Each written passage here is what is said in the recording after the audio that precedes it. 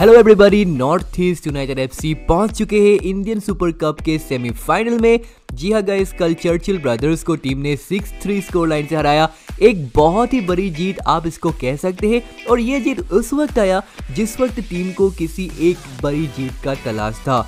This is a big win. This is the much needed win that North East United FC were looking for. दोस्तों, इस match में Wilmer Jordan Gill ने अपना जलवा बिखेर दिए। जी हाँ जैसे कि मैंने कल प्रीव्यू वीडियो में भी आपको कहा था, विल्मर जॉर्डन गिल इस मैच का एक्स फैक्टर होने वाला था। हमें मैच में वही देखने को मिले। दोस्तों, अब नॉर्थ ईस्ट यूनाइटेड एफसी के सामने सेमीफाइनल में होंगे ओडिशा एफसी और ये मैच 22 तारीख को खेला जाएगा। दोस्तों, नॉर्थ ईस्ट यूनाइटेड एफसी के फ़र्स्ट एवर सीनियर टाइटल से टीम अब सिर्फ़ दो ही जीत दूर है। Just had to win the semifinal and final and I think guys it is not impossible this time specially when players like Wilmar Jordan Gil in the team कल हमें फिर से North East United F C की fragile defending की भनक मिले।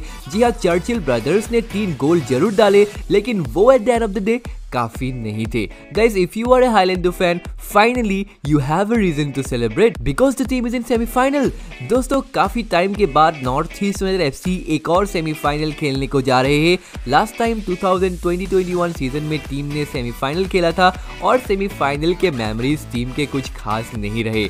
Louis Machado के miss penalty या गाइस सुनील छेत्री के कंटीरवा के goals. None of them make semifinal worth remembering for Highlander fans लेकिन अब इस टीम के पास अपने इतिहास बदलने का मौका है।